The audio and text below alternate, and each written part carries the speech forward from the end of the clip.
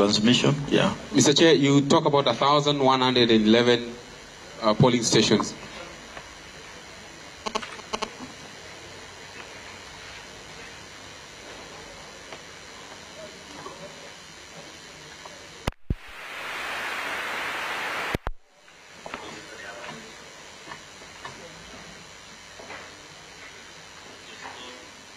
Mr. Chair, you talked about 1,111 polling stations that do not have connectivity to 3G. Uh, what methodology are you going to use to have access to all these polling stations?